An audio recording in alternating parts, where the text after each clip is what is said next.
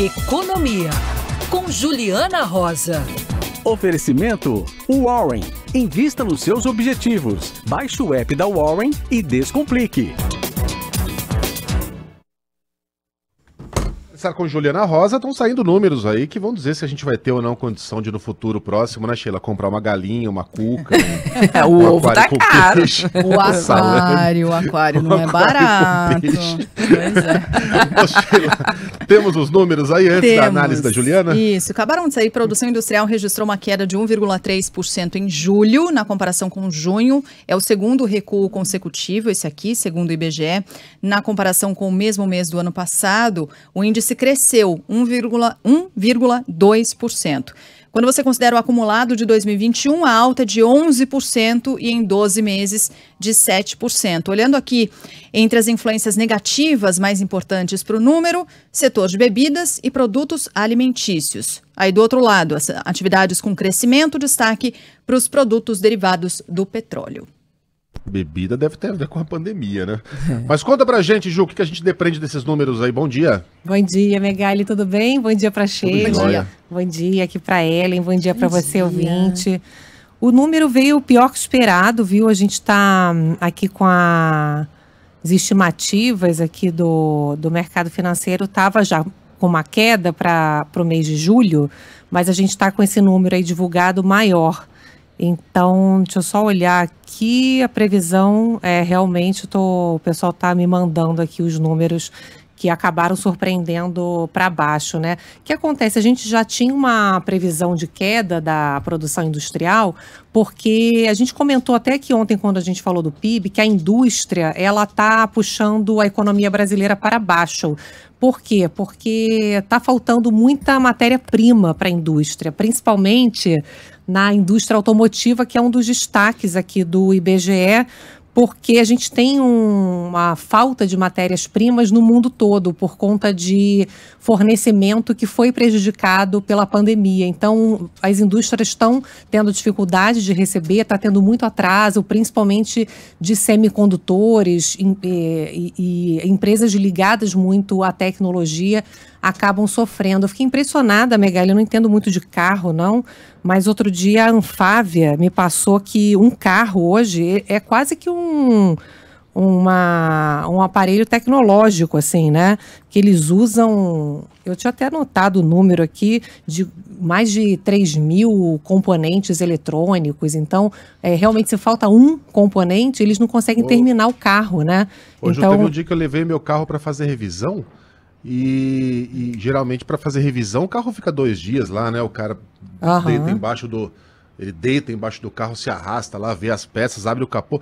Sabe o que o cara fez? Ele pegou um laptop, ligou o fio do laptop num, num Breguenite lá do, do motor e, e um, um, aplicativo, um programa de, de, de computador disse que o que, que, tinha de errado ali, o que, que precisava trocar, uhum. o que estava desgastado, um negócio de louco.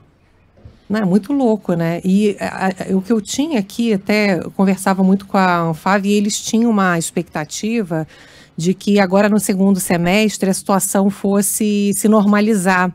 E está demorando mais a, a, se normalizar essa questão. Então, está é, tá tendo falta, principalmente na indústria automotiva, porque ela usa muito componente eletrônico que, eu te falei, né? Fiquei impressionada que é, é, mais do que outros aparelhos eletrônicos mesmo que a gente possa imaginar, mas a indústria como um todo está muito afetada por essa questão de falta de componentes. Agora, quando você olha aqui, aí a gente você, você começa a questionar que não é só falta de componente, né? Porque olha só, quando você olha o que, que caiu aqui dentro da indústria, caiu produção de alimentos, caiu outros tipos de produção que não tem a ver com questões eletrônicas, né?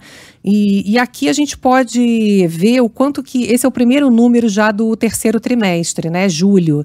Aquele dado que a gente deu ontem era até junho, né? O segundo trimestre. Com o dado de ontem mesmo, o, o mercado financeiro, os bancos, as consultorias, independentes também, começaram a reduzir as previsões de crescimento para esse ano e para o ano que vem também. Agora de manhã mesmo, é, tem várias projeções já é, sendo revistas para baixo. A XP Investimentos diminuiu a previsão do PIB desse ano de 5,5% para 5,3%.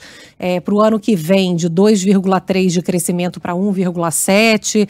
É, a MCM Consultoria também divulgando agora há pouco previsão do PIB menor para esse ano, de 5,3% para 5%. Então, provavelmente, esse dado aqui de julho, já, né, já, já do terceiro trimestre da indústria, coloca mais pressão para essas projeções menores de PIB, porque a gente tem uma consequência tanto dessa questão de falta de peças, quanto quando a gente olha a questão de é, é, indústria sendo afetada por questões mais relacionadas a consumo, né, é, produção de alimento, você começa a, a, imaginar que há também um componente de falta de renda, né?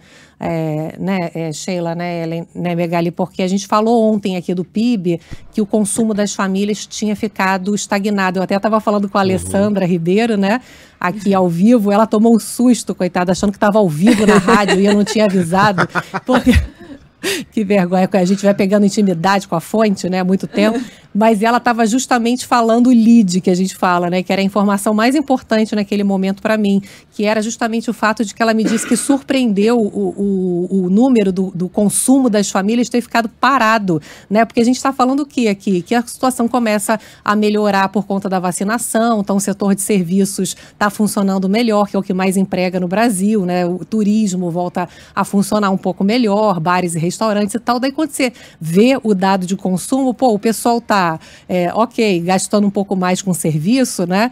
É, mas está deixando de consumir alimento. Você vê, é. o professor Zé Roberto Mendonça de Barros falou aqui ontem: olha, que, que, recuperação é essa que as vendas dos supermercados caem a cinco meses consecutivos, né? Então, eu acho que é importante a gente. A mensagem que eu acho que esse número de agora reforça é que a gente tem uma questão que preocupa realmente agora para os próximos meses, que é essa inflação muito pesada aí no nosso bolso, essa expectativa de que possa é, aumentar ainda mais a conta de luz, isso não está descartado. A gente tem o risco ainda de apagão, que pode jogar a economia para baixo. Então, assim, Sim. a gente tem essa perspectiva de melhora pelo lado dos serviços, né? A indústria a gente já sabia que não ia ajudar, mas você vê que a indústria acabou caindo mais do que o previsto. Então pode ser que a indústria, além dessa falta de peças, também já esteja sentindo essa essa grana mais apertada aí no bolso dos brasileiros, né? Não está sendo fácil. É. O Sheila acabou a bateria do meu laptop, eu esqueci de colocar relógio hoje. Que horas são?